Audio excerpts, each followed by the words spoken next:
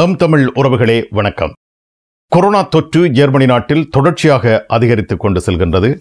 அதாவது ஒரு லட்சம் பேருக்கு ஏறத்தாழ நூறு வீதமாக இப்பொழுது ஜெர்மனி நாட்டில் கொரோனா தொற்று நிலவுவதை அறிந்து கொள்ளக்கூடியதாக இருக்கின்றது. இந்த கொரோனா தொற்றை கட்டுப்படுத்துவது தொடர்பான மாநாடுகள் அவ்வப்பொழுது நடைபெறுகின்றன.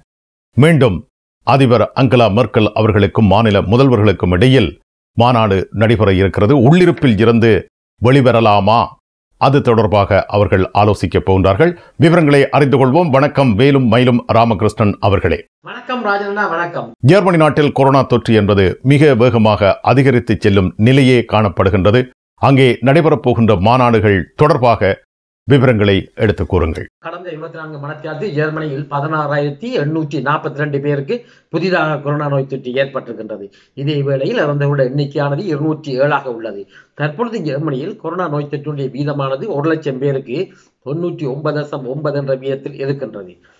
வருகின்ற திங்கட்கிழமை ஜெர்மன் அதிபர் அங்கலா மேக்கலுக்கும் மற்றும் மாநில முதல்வர்களுக்கும் இடையே கொரோனா லாக்டவுனிலிருந்து வெளியேறுவதா இல்லையா என்பதை பற்றி ஒரு மாநாடு நடைபெற இருக்கின்றது.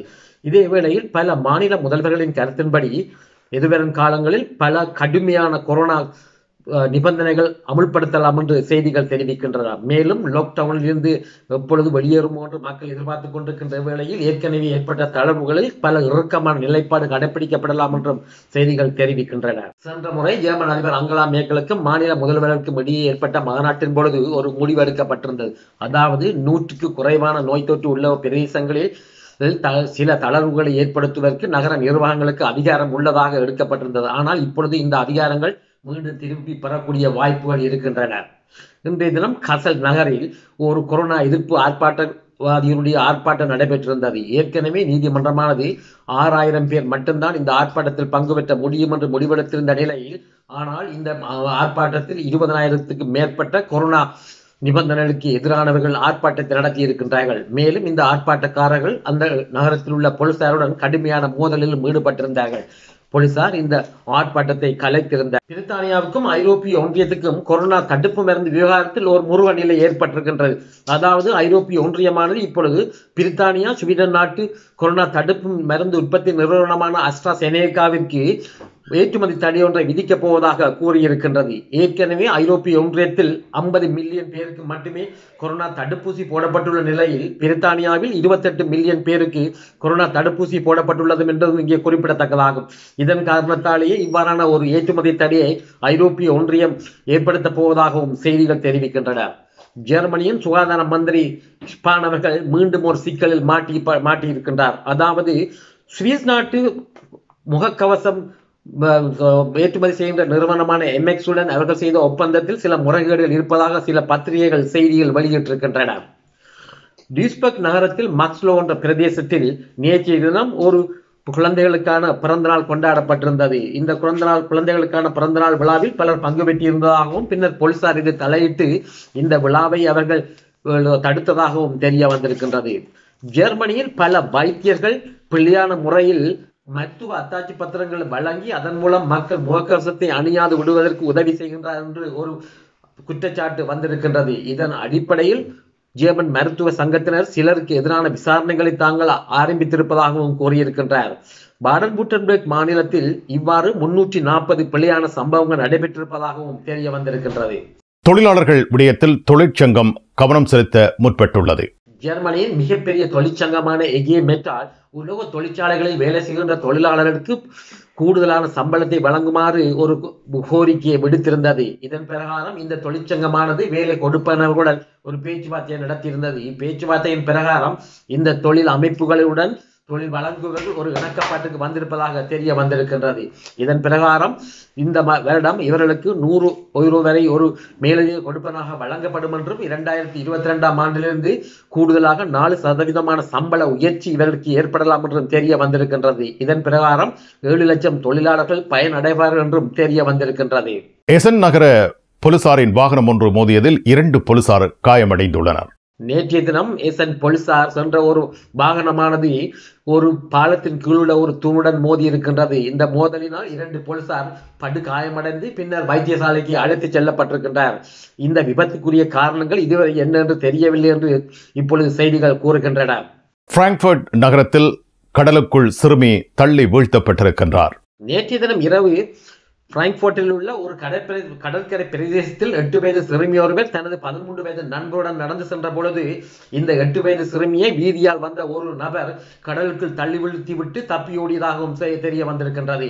இந்த யுவதியானவர் பின்னர் தானாகவே கடலில் இருந்து நீந்தி வெளியே வந்ததாகவும் தெரிய வந்துள்ளது. இந்த சம்பவத்தை இட்டு போலீசார் தீவிர விசாரணையை இப்பொழுது முன்னெடுத்துள்ளதாகவும் செய்திகள் கூறுகின்றன.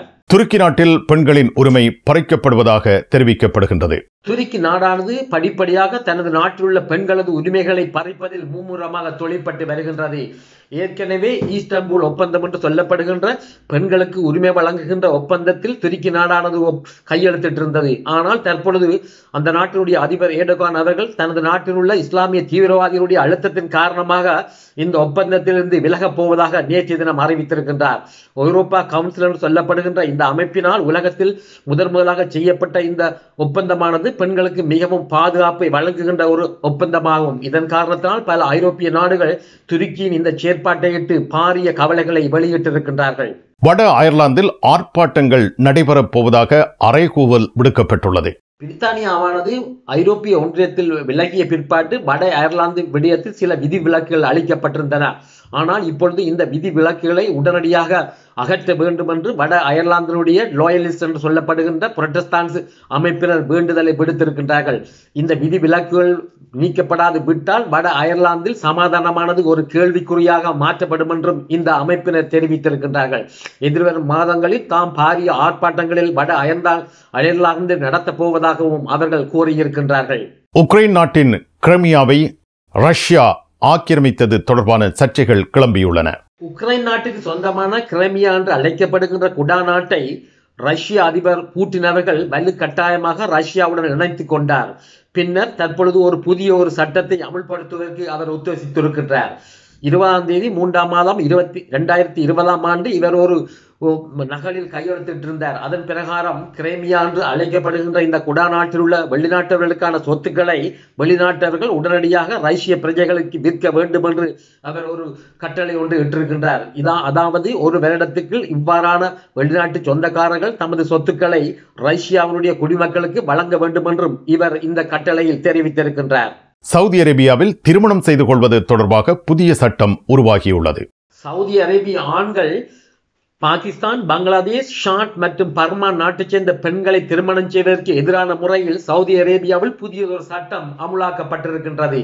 அதாவது இந்த நாட்டைச் சேர்ந்த அன்னளவாக அஞ்சு லட்சத்து ஐம்பதனாயிரம் பெண்கள் அந்த நாட்டில் வாழ்வதாகவும் இவர்களை திருமணம் செய்வதாயின் சவுதி அரேபிய ஆண்கள் அரசாங்கத்திடம் முறைப்படி விண்ணப்பத்தை செய்து அரசாங்கம் அதற்கு தனது முழு ஆதரவை தெரிவித்தால் மட்டுமே இந்த நாட்டு பெண்களை திருமணம் செய்ய முடியும் என்றும் அவ்வாறாக இல்லாவிடில் இந்த பெண்களை அவர்கள் திருமணம் செய்ய முடியாதென்றும் இந்த புதிய சட்டத்தில் தெரிவிக்கப்பட்டிருக்கின்றது. மிக்க நன்றி. வேலும் மயிலும் ராமகிருஷ்ணன் அவர்களே மீண்டும் சந்திப்போம். வணக்கம். நன்றி.